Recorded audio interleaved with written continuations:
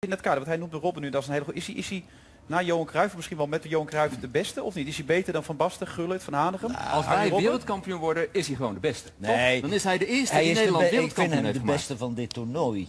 Maar, Maar ik, zet hem even in perspectief. nou, ik, Nee, vind, nee, dat, ik vind niet dat hij beter als Cruijff, Onvergelijkbare grootheden. en, Ruud- en Gullit is. Ruud is twee keer wereldspeler van het jaar geweest. Ja. Van Basten is drie keer Europees speler van het jaar geweest. Cruijff was in zijn tijd fenomenaal in 74. Nee, maar gewoon op dit toernooi is Hij gewoon met, met afstand de beste speler. Maar ik, ik denk dat iedere, niet alleen de Duitsers doet in de broek, dat iedere verdediging die nu tegen Oranje speelt in de broek doet. Want Oranje kan het beste spelen tegen teams die sterker zijn. Dus dan gaan ze weer lekker met die vijf man zitten. En durf je te komen, dan komt er een lange bal op Robben 1 tegen 1. En dan ben je verloren als verdediger. Want er is geen verdediger die Robben 1 tegen 1 aan Johan, kan. maar dan, dan kom je wat, wat eh, René zegt. Tegen Argentinië, allebei. Gaan het- gaan het niet doen. Gaan ze heel Niet. zuinig Dan spelen. worden het hele vervelende Juist, potjes. voilà. Maar dan is het wie heeft het langste geduld. Dan is het niet om aan te gluren. En dan ben je afhankelijk van een individuele actie. Of En van Messi, Messi of van eh Messi Robben. Robben, een van Ja. de twee.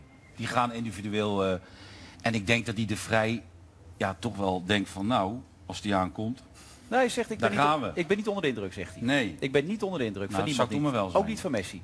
Nou, dat, dat moet je niet Toch zeggen. even YouTube kijken Nee, dat vanavond. moet je niet een paar zeggen. filmpjes. Ja. Een paar filmpjes Nee. kijken. Nee. En dan toch denken, Hele ondeugende speler hoor. ja, lastige jongen.